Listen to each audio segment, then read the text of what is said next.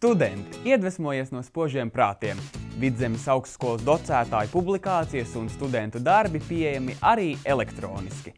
Vidzemes augstskolas studentu darbu datubāzē pieejami labāko gada projektu, kvalifikācijas, maģistra un bakalaura darbu apraksti.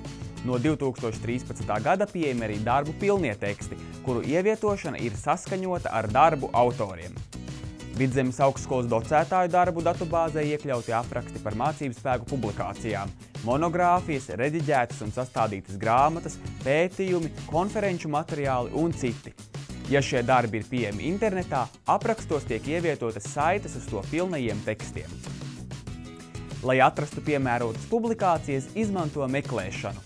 Vienkāršajā meklēšanā optimālais vārdu skaits meklējuma pieprasījumā ir 2 līdz 4 vārdi. Lai sameklētu precīzu frāzi, vārdus ieliek pēdiņās. Ja nav zināmas precīzas izdevuma ziņas, vārda galotni var aizstāt ar zvaigznīti, lai to meklētu visos locījumos.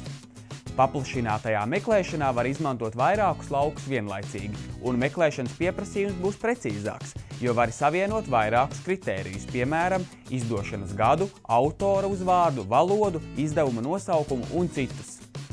Lai sameklētu Vidzemes augstskolas studentu un docētāju darbus, vispirms noklikšķina uz izvēles katalogu. Izvēlies studentu darbu vai docētāju publikāciju katalogus. Atlasītos rezultātus var sakārtot pēc autora, nosaukuma, izdošanas gada, ievadas datuma katalogā.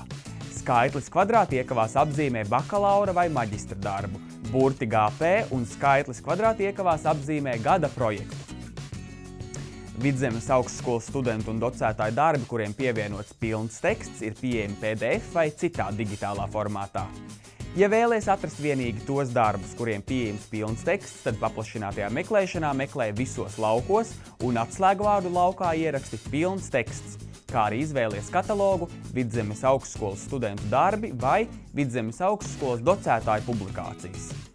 Ja pilns teksts nav pieejams, tad jādodas uz bibliotēku un jānosauc skaitlis, kas norādīts kvadrātiekavās.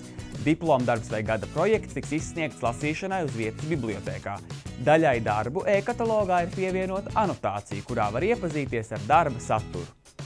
Ja augstskolas docētāja darba pilnais teksts nav pieejams elektroniski, tad pie atlasītā rezultāta ir norādīta grāmata vai izdevums, ko varēsi atrast Valmieras integrētajā bibliotēkā.